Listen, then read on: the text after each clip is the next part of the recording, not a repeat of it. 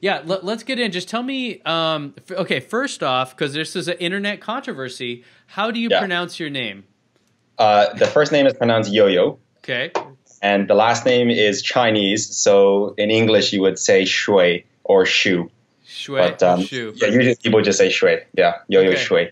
okay, because I think the first time I heard your name or so, somebody asked me a question, and yeah. I was like, "You, you." I was like, "What is this?"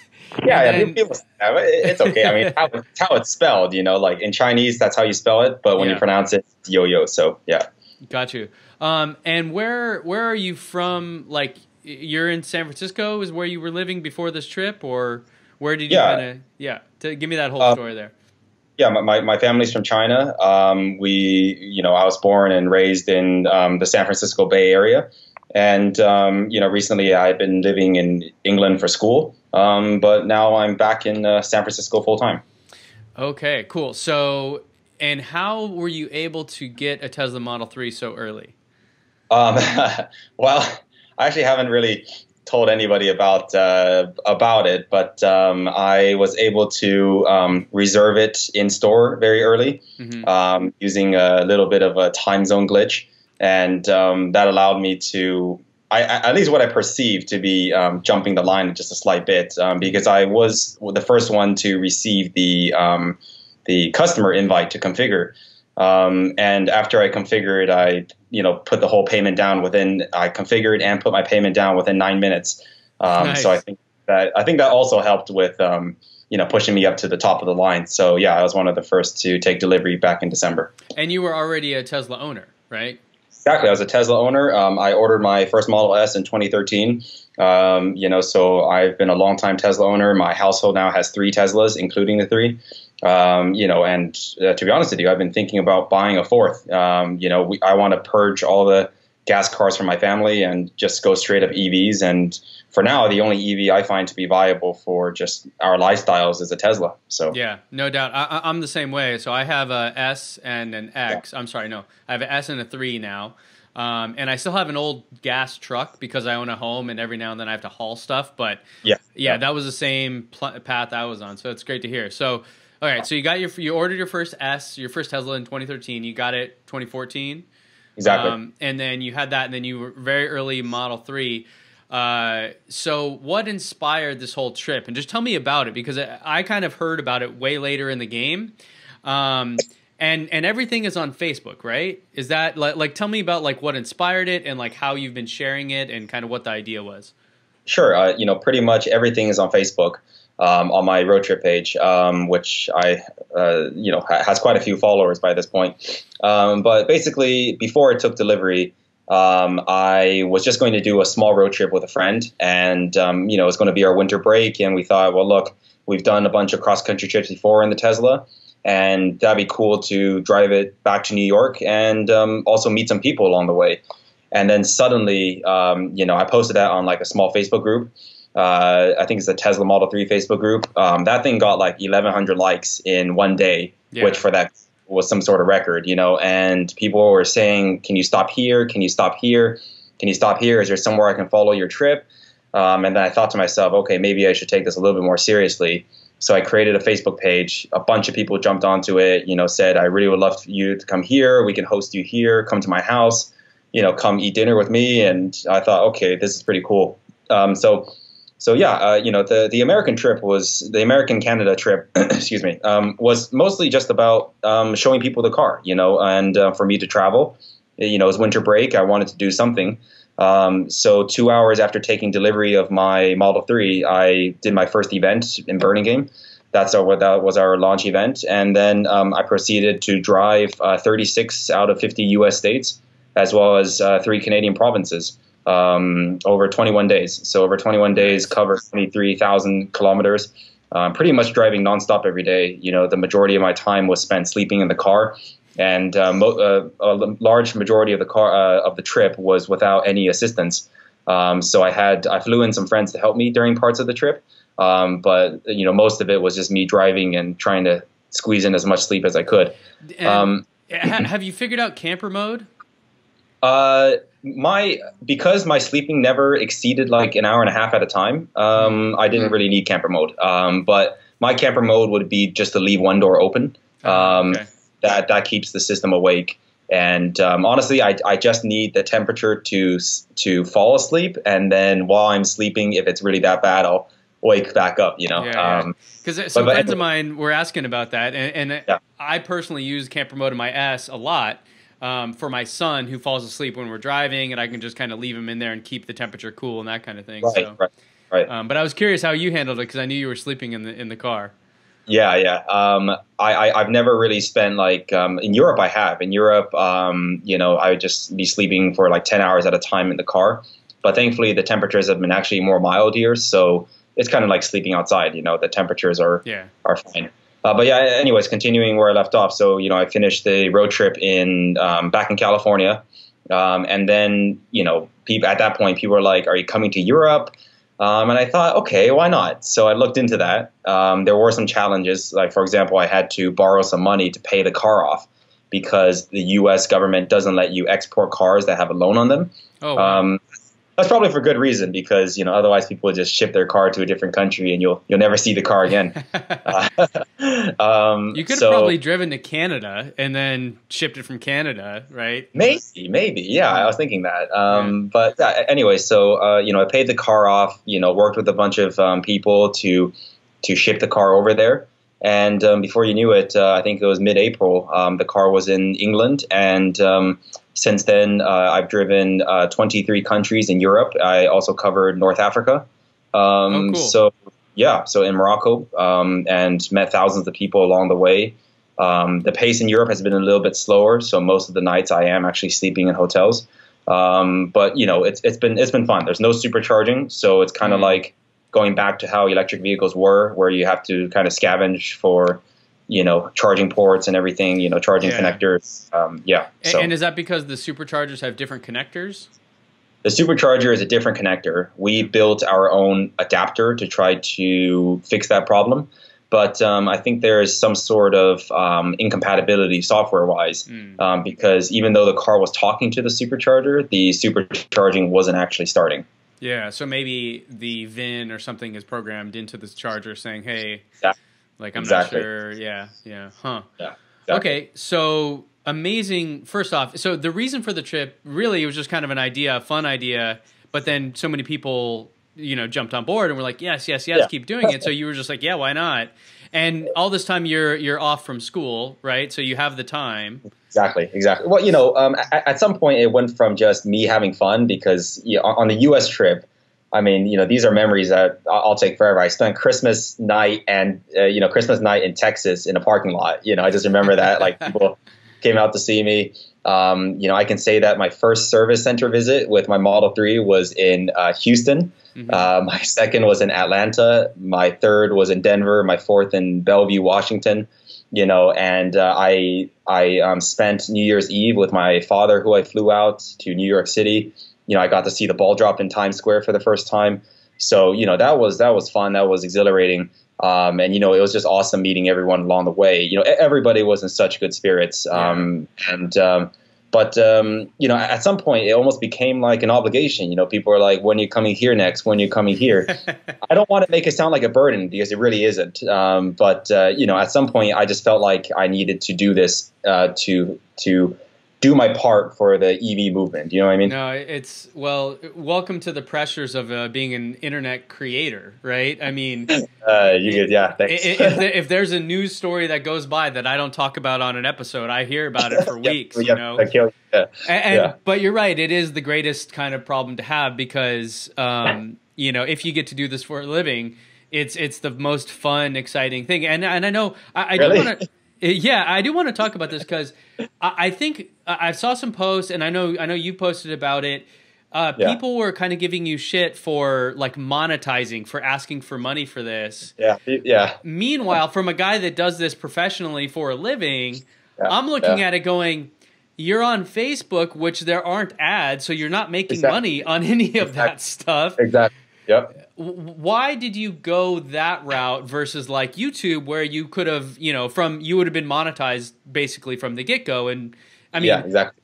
not that the point of it was to make money, but at least that money could have helped, right? So give Well- me give me that whole thinking behind that. Well, yeah, you know, just like you said, people accused me. They're like, why, for example, um, part of my road trip, uh, how I funded it was charging for test drives. So I let total strangers drive my car for ten dollars.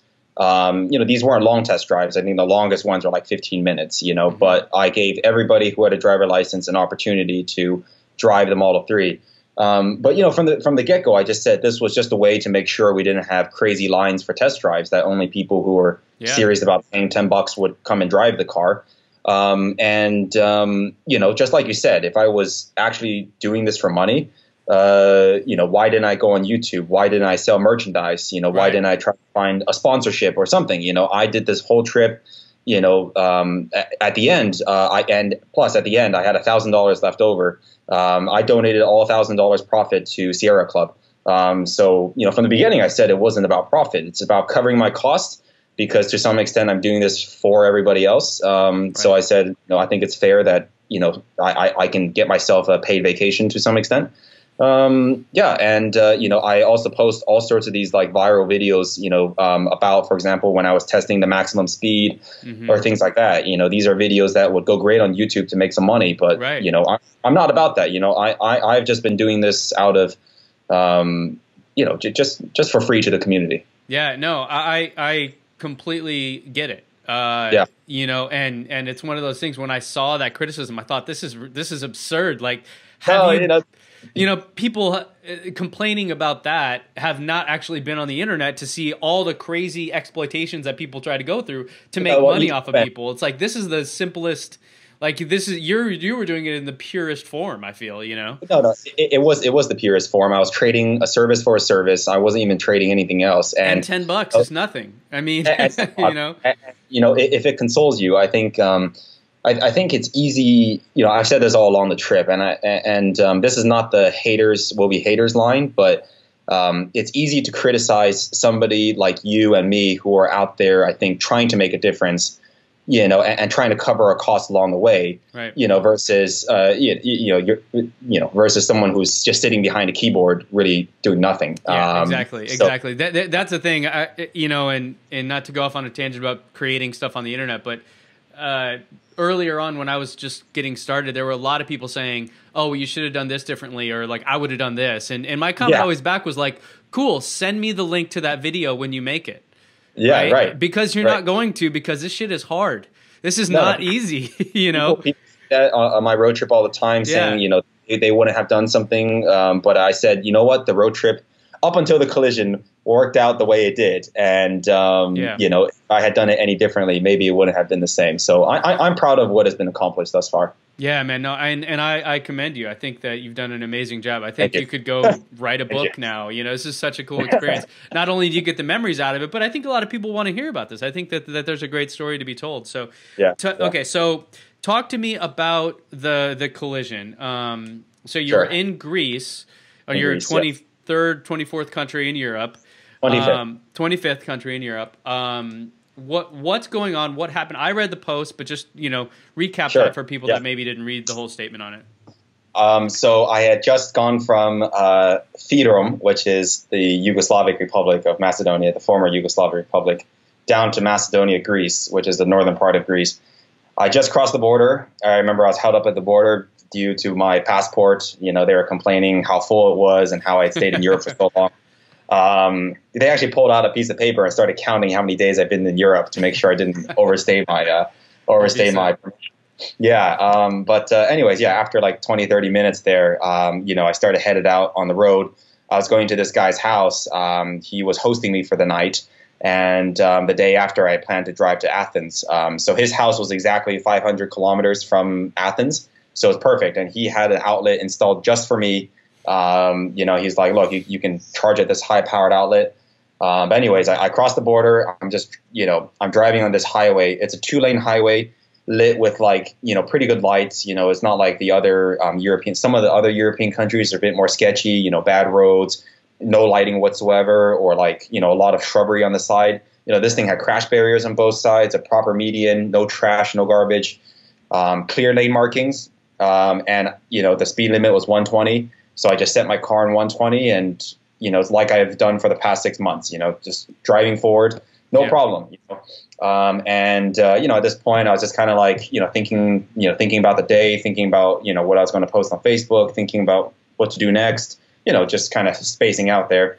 Um, and I had my left hand just resting on the steering wheel, uh, my right hand um, on my lap, and um, I'm just cruising down. Zero signs of problems. You know, I've uh, I've driven on European roads where the car kind of feels a little bit shaky. You know, for example, like um, you know places where the wind is high or the lane lines aren't clear. But this felt totally normal. I'm just driving down normally, and um, you know, just for a second, just because um, I hadn't checked the directions since I got on the highway, I took my phone out from the um, from the center console, and um, you know, I look at it. You know, it's Face ID. I swipe up, and um, I just remember moving the maps down so that I could see, you know, the the road I was going on to see if there was left or right turns or something like that. Um, and then suddenly, I feel the car lurch to the right, and by lurching, I mean a sudden and just unpredictable swerving.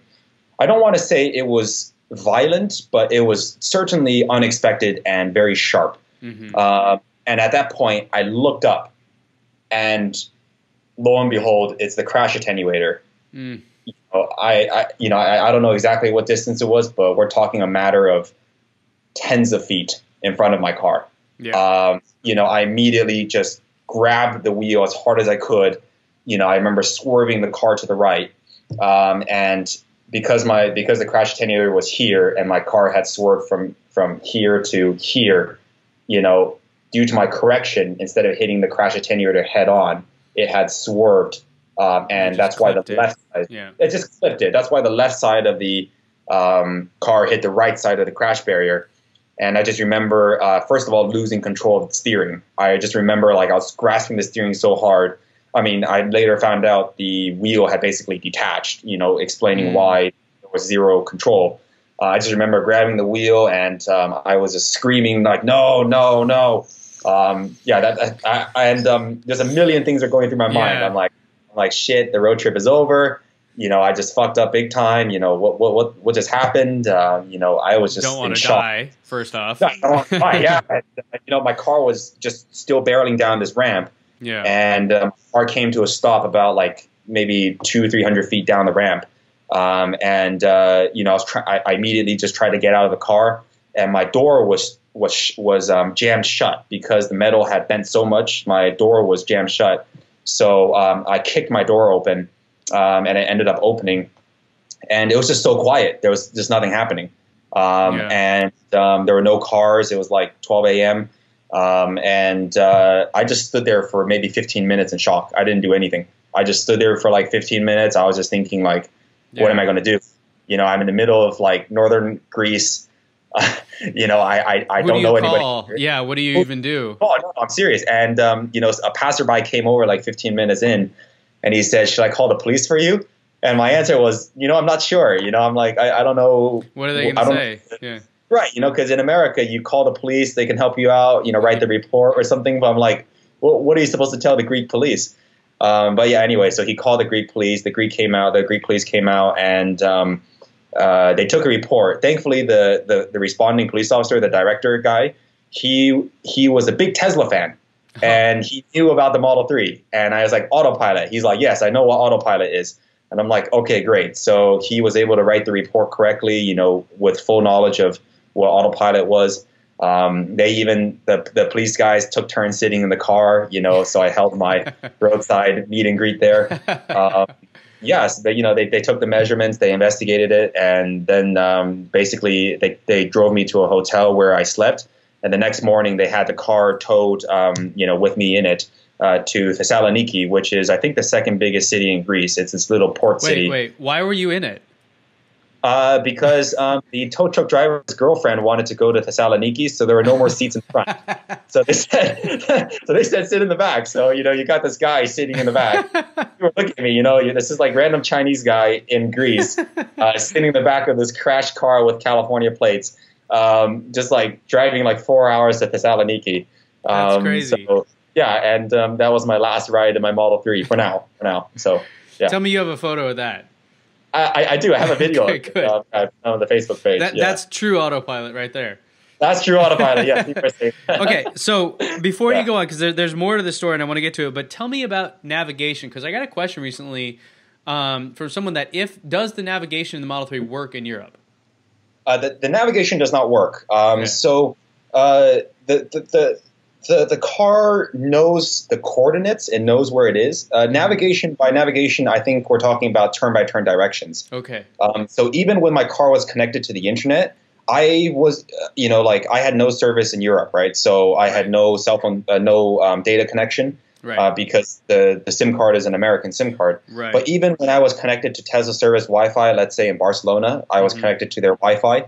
I was able to download the maps, but um, let's you know I used the voice command. I said you know navigate to let's say Paris.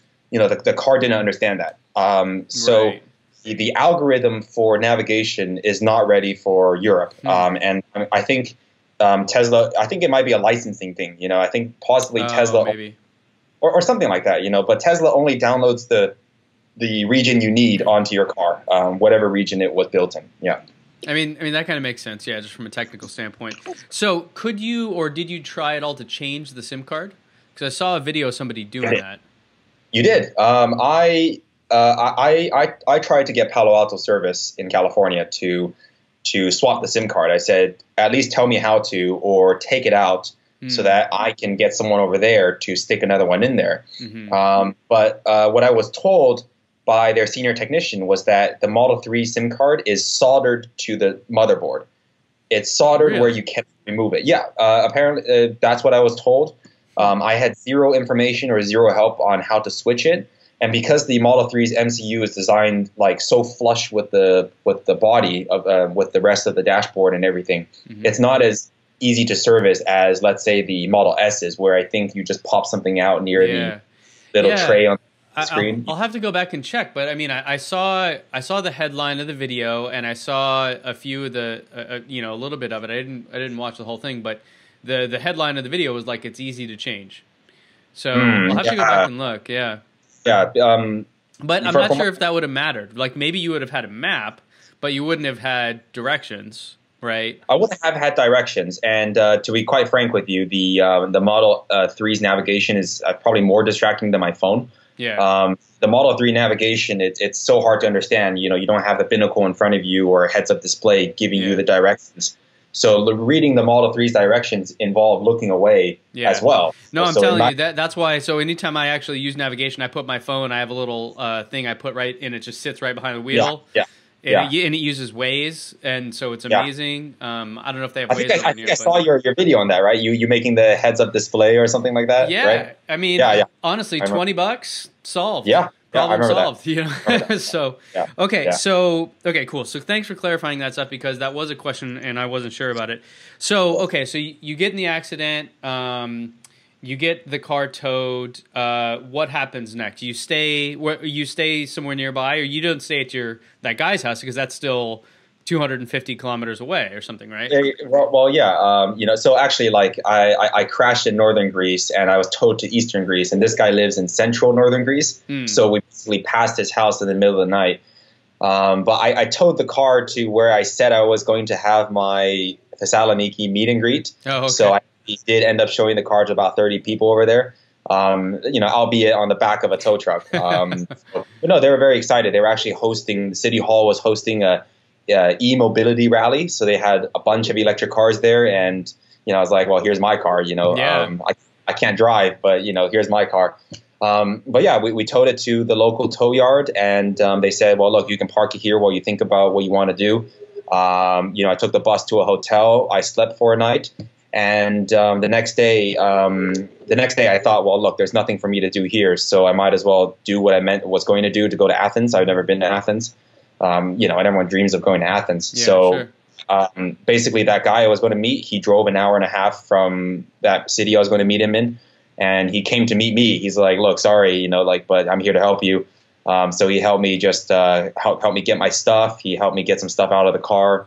Um, and then he drove me to the airport. Um, so yeah, I've been in Athens for the past two nights, um, and I'm spending my final night here now. Um, it's currently about 8 p.m.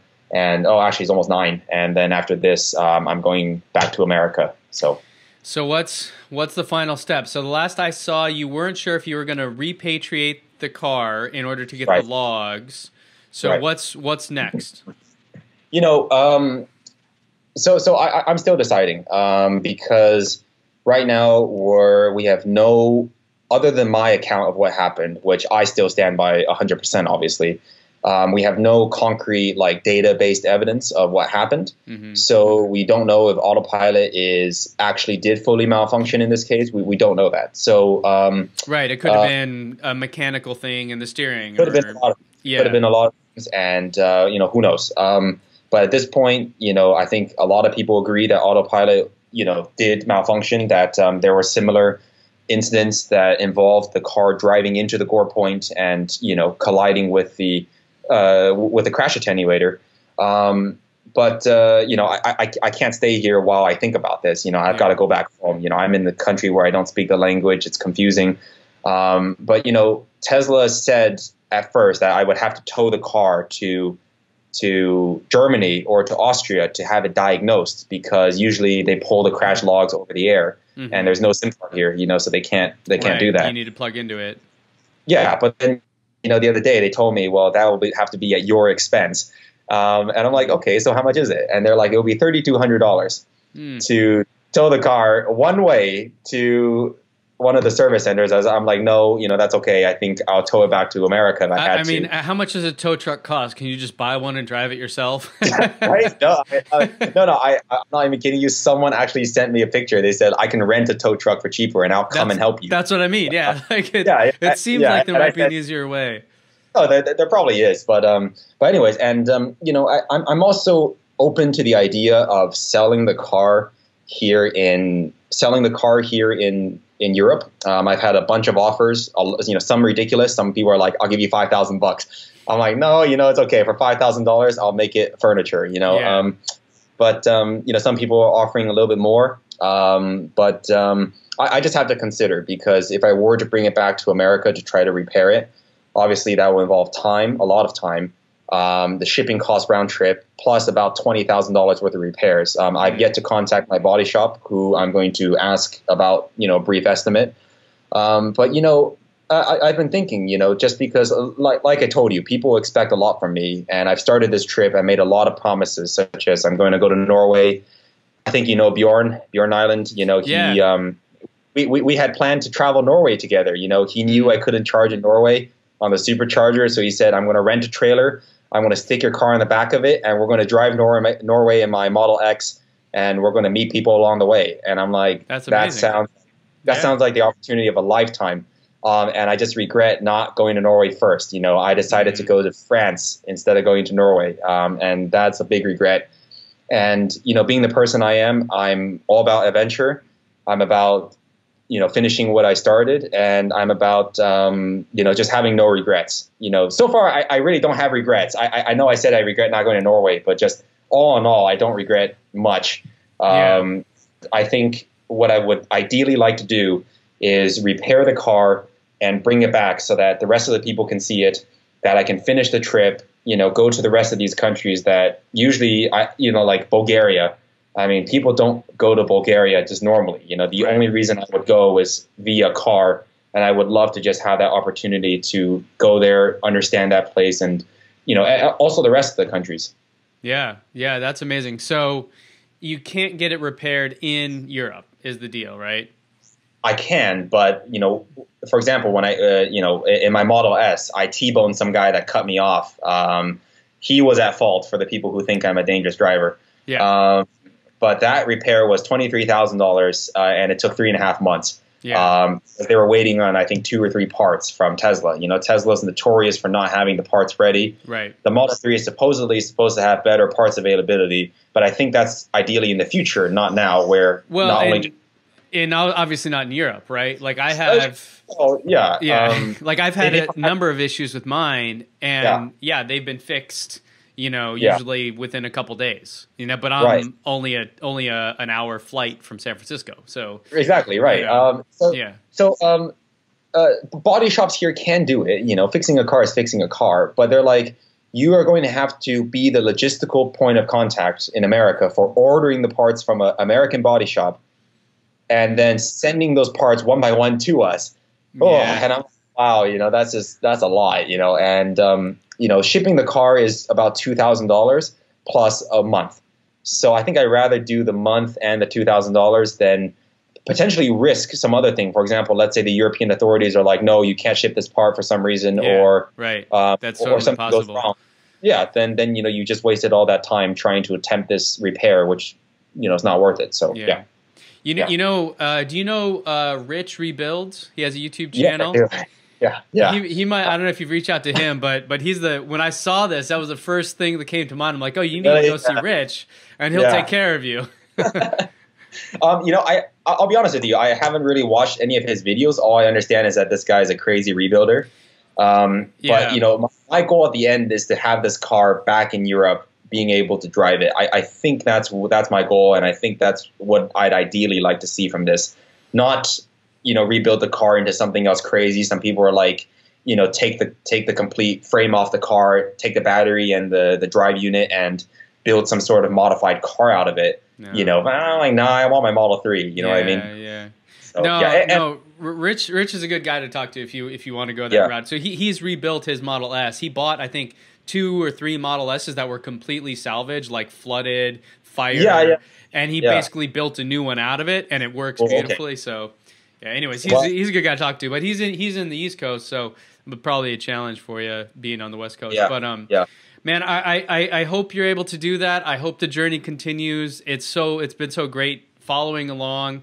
Um, what about school? Are you going back? Like, what's next there? Oh no, I, I, I, I'm done with school for the time being. Yeah. Yeah, Um, okay. So yeah, I'm, I'm back in America. Hence, I have so much free time. Yeah, Uh, you know, uh, um, don't, don't get me wrong. Uh, I, I, uh, you know, I, I have, I have stuff to do. Um, I have also a girlfriend at home who I've been neglecting basically for the past six months. Um, so you know, people think this guy is rich. He has all the time in the world to travel the world. That's not true. You know, I've really made a lot of sacrifices to be able to do this. Totally worth it. You know, um, like today I went to the um, to the uh, Greek em- uh, to the American embassy in uh, Athens here to get a new passport because my passport is totally full. They started stamping the uh, front pages, um, and the, the woman's like, where, "Where have you traveled recently?" I'm like, "Well, look, in the past two months, I've been to 23 countries." And she's like, "Wow, that's more than our diplomats have traveled to." Um, you know, so th- this has been totally worth it. You know, like um, Yeah. meeting people. And Ben, I think when you have the opportunity, you should come to Europe to meet the Tesla community. Um, no, I, there's just I plan on it later this year. Actually, I'm planning Really? on spending. Um, so me and my wife are are um, have been learning Spanish for like three years. Oh, and, really? Well, and and we love Spain. So okay, fantastic. Yeah. So I, I've You're- been talking. Um, there, I have a friend. Actually, yeah, Saul Lopez. Yeah, we're gonna go visit him for a week, and he's in Paris.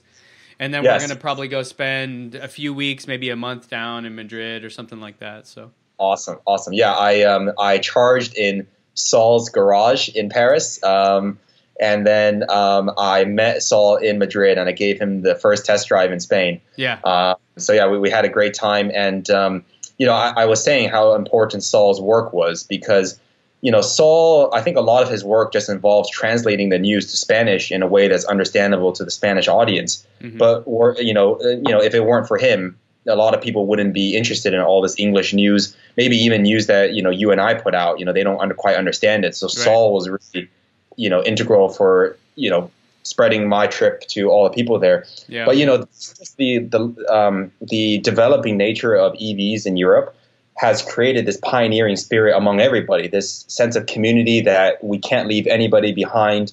That every single EV owner is important. You know, you got all the Tesla owners there. They respect all the Leaf owners. Maybe not the case in Yeah. California. You know, people see Leaf and they're like, you know, "Pff, "There's a Leaf." You know, so. Um, yeah, it's but over- definitely different out here. Yeah, it's definitely more like, you know, t- I mean, even Teslas are like par for the course. You know, No, exactly. exactly. yeah, it's just like that's that's a normal car. Like if you want a fancy car, you don't get a Tesla. You need like No, something exactly, uh, exactly. something else that's more Yeah. exotic. So Yeah. cool, man. Well, I- hey, I- yeah. Thank you for the time. I appreciate Sure. everything here. Uh, I really wish you the best on, on and let's keep in touch. Let me know when you're back in California. Please, I'd love please. to meet up um, and we can do some stuff. And I actually have a repair of my Model Three that needs some body work uh, as well, Oh, which really? I, I haven't told people about yet, but um, I'll be sharing that down the road once I figure it out. Uh, it. Yeah. I'm really nervous about that too, like the the timing and the cost. Like it's crazy. Yeah. So. Yeah. My, my advice to you uh, before I go is please read the reviews because I once fixed my Model S at a at a Tesla approved body shop, Uh huh. but the repairs were so bad I couldn't believe it. I went to a Uh. different Tesla repair shop and it was just like ten times better, um, just like it out of the factory. Um, so yeah, just just take care of your car, man. yeah, absolutely. I'm I'm pretty fortunate down here in Southern California. We got some good options, but yeah, I'll definitely Exactly. definitely Yeah. double check that. Cool, man. Well, Yeah. best of luck with everything. Thank you for Thanks so joining me here, um, Thank you for guys. If you don't know about YouYou's journey, where can people find you? Where can they follow the next steps and the next phases? Uh, you can follow me on Facebook. You can follow my Instagram, uh, Tesla Model 3 Road Trip. Not sponsored by Tesla, but that's the name. None of us are. you know, I get that No, question all the time. It's like, We're doing, no. doing this. We're doing this because we love EVs. We're doing this because we want people to buy EVs. We want people to understand how fun it is to to own an EV. How you know that other people when they say that it's hard to own an EV. Yeah. I just drove basically to Asia from California with an EV. You know, nothing's impossible in an EV. Yeah, awesome. I couldn't agree more, man. Cool. Well, thanks so much, and uh, I'll be in touch soon, man. Cool. All right. Thanks so much.